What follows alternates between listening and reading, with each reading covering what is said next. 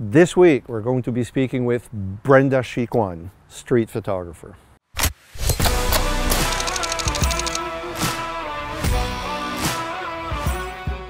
I was born in Moncton and uh, lived here most of my life, went to school here, and uh, always enjoyed photography, but not seriously until probably about three and a half years ago uh, when I took my course with Murasadi.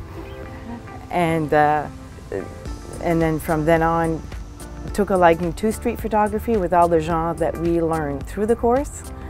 Uh, that's the one that attracted me right away.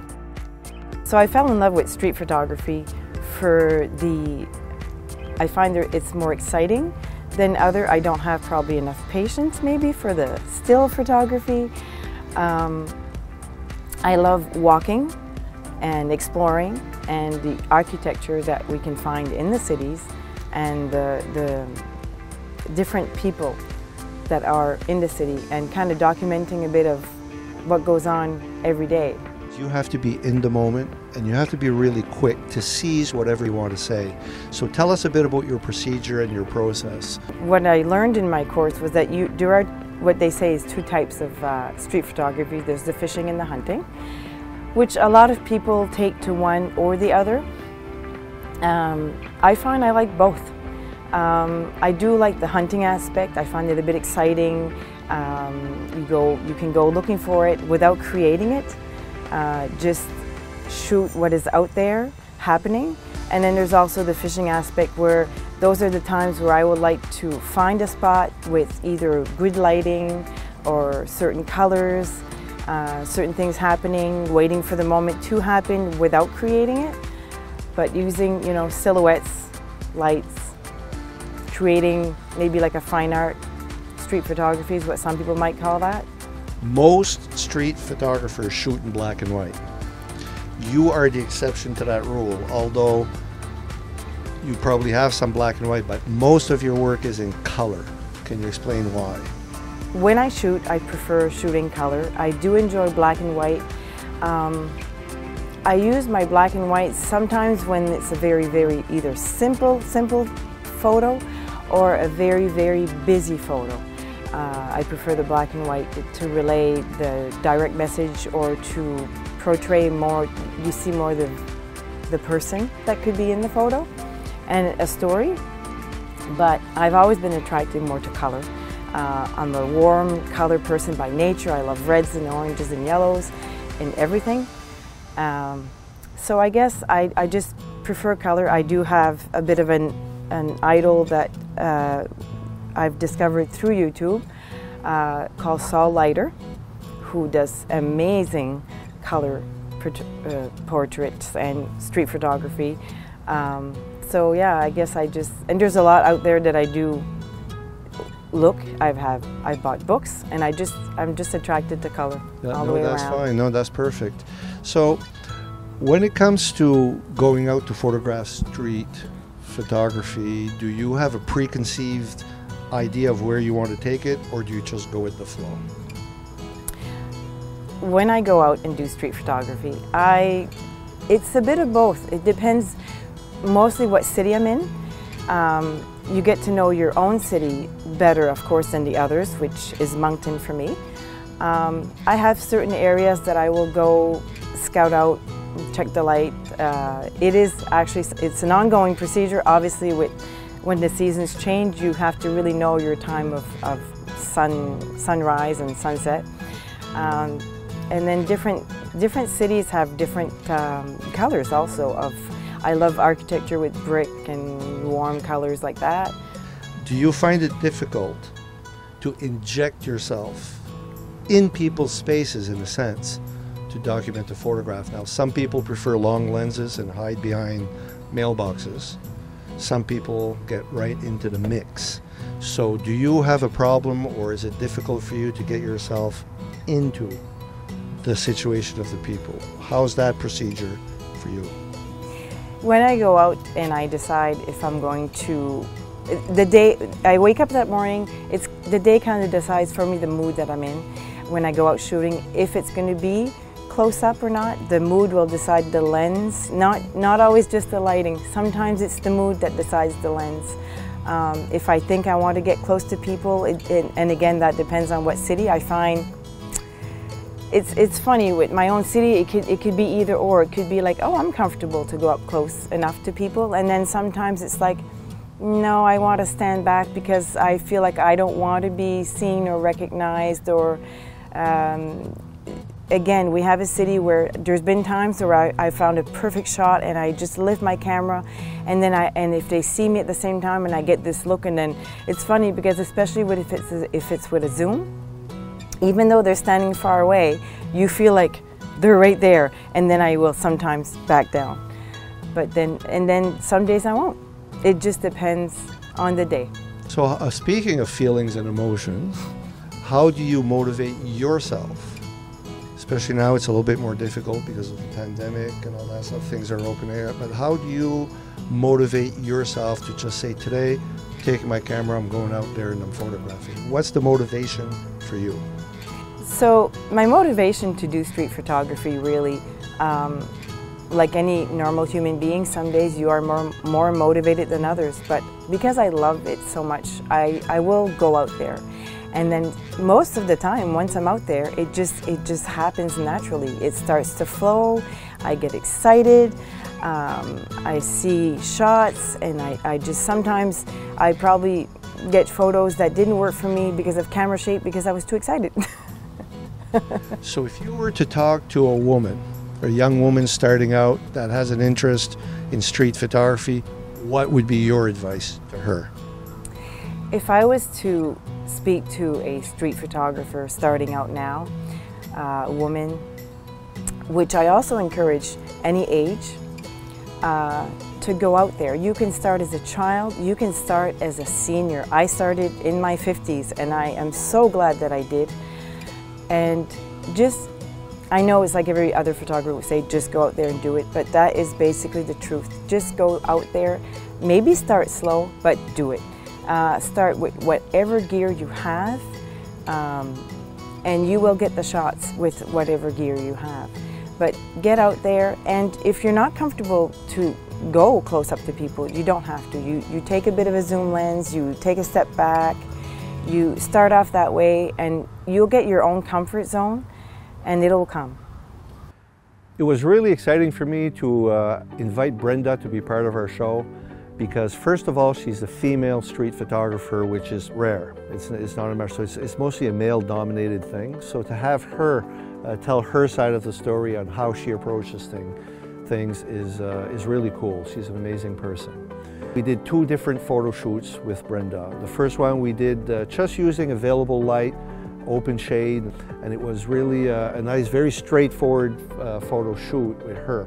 Mostly headshots, that type of idea, and a few full length, but all in the same light, all in open shade, very similar background. The second photo shoot that we did, we went on another location where I wanted to use a, a really funky background uh, to uh, kind of highlight uh, who she was. And again, this particular situation, uh, we uh, ended up using studio lightings and we started to really play with light. Uh, yes, we were in open shade, so we picked a time so that the lighting was very um, uniform in a sense. Um, and then all I had to do at that point is play with the lighting from the, front, from the main light, which lit the subject, to the back light, which lit the background.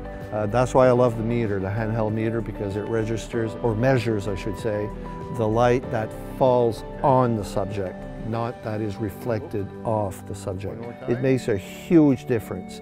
And at that point, I can measure how I want to do both Either I'm using two lights, four lights, five lights, it doesn't matter. And then I can really play with how the uh, image or the final image is going to end up looking like. In this particular case, what I did is I had a measurement for the, uh, the light in the open shade, the light that was falling on the subject.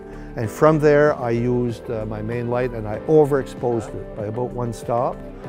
And then the backlight, I underexposed it by about close to one stop uh, from the, the natural light that was the open shade falling off the subject. So all of a sudden I've got a variation here of two stops from the light that is actually falling off her. And uh, what it does is it makes her stand out of the background and it darkens the background a little bit. And to me, it just does a beautiful effect. Working in open shade in photography, in my opinion, is a really good type of light to work in, but it does cause little challenges that you have to work with. So balancing the light is critical. That's where you can use reflectors, that's where you can use things like that. But in digital photography also, uh, the white balance in this case becomes critical. Um, that's if you don't use uh, like studio lighting or, or, artificial lighting. But if you're just using the light in the open shade, uh, your white balance becomes absolutely important to balance that light. So the skin tones are great and all this. In our case, when we were where we were, we started working, everything was balanced, everything was set. Then all of a sudden, as the sun started shifting or moving and coming down, there was a huge, kind of an almost white building across the street that the sun was hitting. And it, it, that building ended up acting as a huge reflector that completely changed the, uh, not the quality of the light because it was a different light and every light you can adapt, uh, but it changed the intensity of the light, which completely um, uh, messed up in a sense uh, my exposures and how I had things set up. So at that point, be very sensitive to when you're working with light uh, or even in open shade, which I, by the way, love um, because the open shade, really good for skin tones and really beautiful for eyes. So you're, by being in open shade, you can really control things and people are not squinting. It's not emphasizing wrinkles. It's not doing anything like that. So it's a really good way to photograph people.